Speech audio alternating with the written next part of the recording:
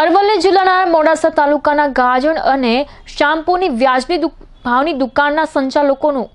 કોરોનાના કારણે મોત નિપજતા બંને વ્યાજબી ભાવની દુકાનના સંચાલકોના વારસદારોને વારસાઈ રૂપે પેઢીનો પરવાનો આપવામાં આવતા પરિવારજનોને રાહત થઈ છે. કોરોના મહામારીમાં અનેક કોરોના વોરિયર્સે પોતાનો જીવ ગુમાવ્યો છે.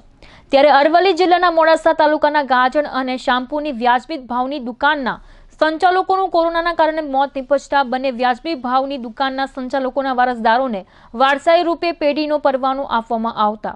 પરિવારજનોને રાહત થઈ છે. કોરોનાની મહામારીમાં સરકારે તમામ એપીએલ અને બીપીએલ કાર્ડ ધારકોને મફત અનાજ આપવાની જાહેરાત કરી હતી ત્યારે ગાજર વ્યાજબી ભાવની દુકાનમાં સંચાલક રતનસિંહ પરમાર અને શામપુર વ્યાજબી ભાવની દુકાનમાં સંચાલક જગદીશભાઈ પ્રણામીનું કોરોનાના કારણે મોત નિપજતા દુકાન સંચાલકના વારસદારો દ્વારા દુકાન ચલાવવા વરસ, વારસાઈની અરજી કરવામાં આવી હતી, જેના ભાગરૂપે મોડાસા મામલતદાર પુરવઠા અધિકારી અને પ્રાંત અધિકારીના દ્વારા એક જ મહિનાના સમયમાં વારસાઈનો હુકમ કરી વ્યાજબી ભાવની દુકાન ચલાવવા પરવાનો આપતા કોરોનાના કપરા કાળમાં પોતાની ફરજને પ્રાધાન્ય આપનાર વ્યાજબી ભાવની દુકાનના સંચાલક અને પરિવારના મોભીને ગુમાવ્યાની વચ્ચે પરિવારને રોજગારી મળી રહે તેવો ઉત્તમ નિર્ણય લેતા પરિવારમાં રાહત જોવા મળી છે.